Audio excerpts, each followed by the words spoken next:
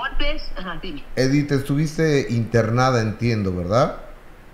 Mira, fíjate que tengo un hijo que es médico. Estuve yo convaleciente 25 días. No puede eh, ser. Iba a hacerme exámenes periódicamente porque yo no podía, vamos, caminar. No, no entendíamos por qué razón.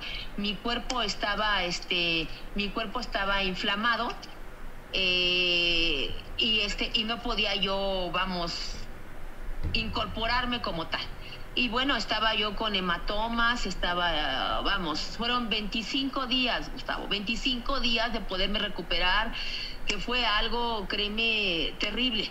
Y 25 días de estar callada, de poder, no poder decir nada, porque la fiscalía estaba integrando, estaba integrando toda la, la carpeta.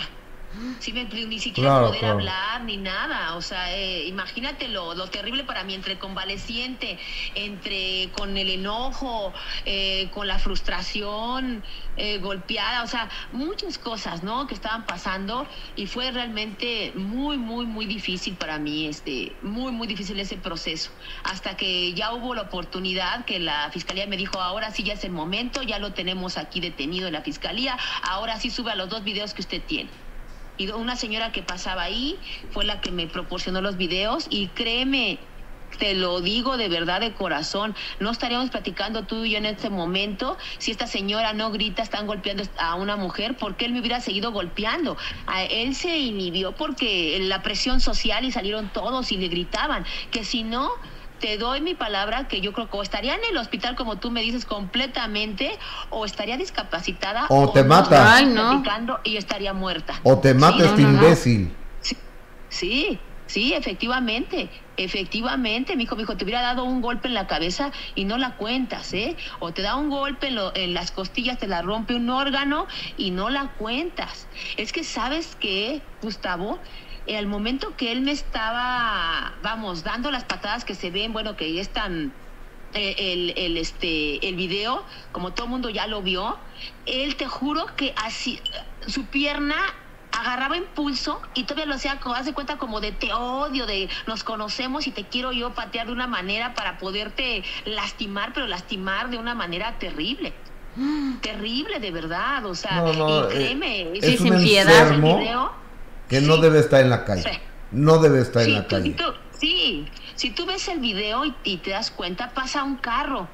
Eh, cuando él me está golpeando, pasa un carro muy cerca, que si el carro no me ve, te juro que yo me hubiera pasado en la cara y me hubiera tronado la, la, la cabeza. O sea, de verdad yo creo que algo debo de tener yo divino dentro de lo que me pasa o alguien me debe de cuidar, porque de verdad eh, hubiera pasado esto algo mucho más grave.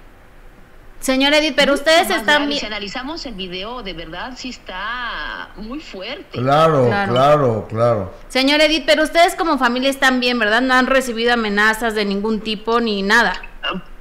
Pues nosotros como familia estamos bien, pero no no te dejo de no te puedo mentir, Ujú. estamos con mucho miedo y si te, la palabra terror puede entrar dentro de esto, sí, porque tenemos miedo a una represalia, porque la gente que te conoce te habla y te dice, pero ¿cómo? ¿Cómo, cómo fue al fofo? ¿Va a mandar a alguien? ¿Le va a hacer algo? Te, ¿Un hijo te va, se va a vengar esto? Y pues sí, nuestra vida de... Somos una familia de cuatro, como les comento, tengo dos hijos, y, y- y- y ya no podemos salir a- antes como antes, ¿no? Un fin de semana salíamos a comer al parque con nuestra perrita, etcétera. Ya no podemos hacer eso porque vivimos en terror.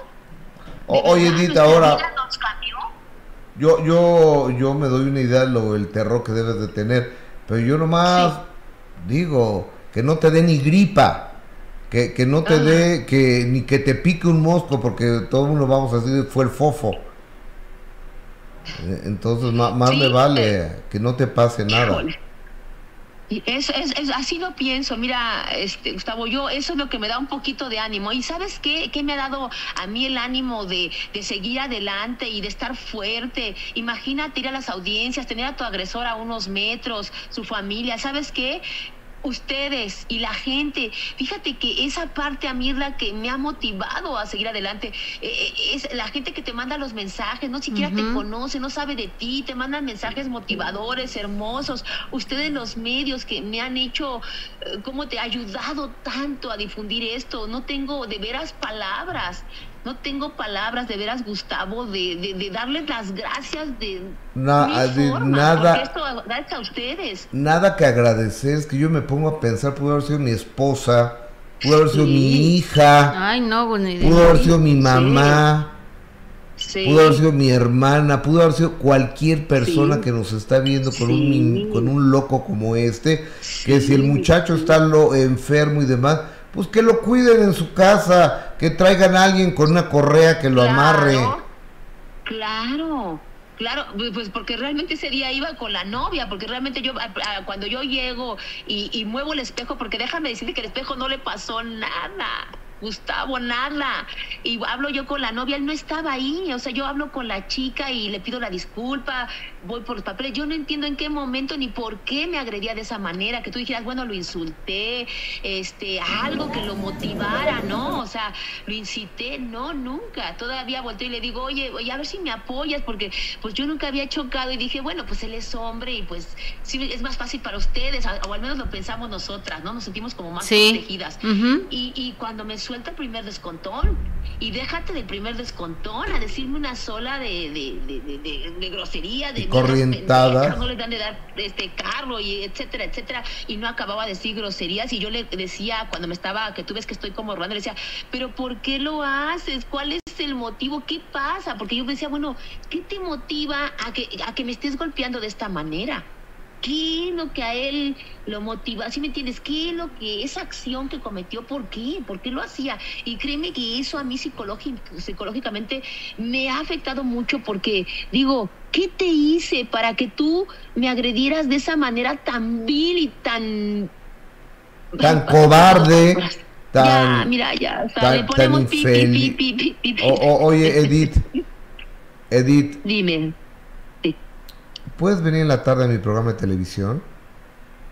Sí, mira, nos, deja- mira, ahorita No, estoy ok, en Telemundo, me están esperando. que estás nos hablamos si quieres. para estar en nos Telemundo, y nos saludos. coordinamos y este, con todo el placer estoy contigo ahí. ok, me te, encantaría. te mando, te mando nuestros respetos, nuestra solidaridad y, y sabes que Gracias, no, gracias. no es posible esta bajeza, esta... Híjole, no, no. P- no, Perdón, no, la, la- sí. la- que la gente me dice que no diga para algunas personas palabrotas. Esta, po- esta poca madre. Pues sí. esta poca madre de este infeliz. Exacto. Te abrazo, Edith, te, te marco en un ratito. Igualmente, te envío un abrazo, nos, nos comunicamos. Gracias, Gracias. buenas tardes. Gracias por tu apoyo, gracias. Hasta siempre, gracias. Se te admira y se te quiere, ¿eh? Igualmente, muchas gracias. Buenas tardes. Gracias, Bye. gracias. Bye.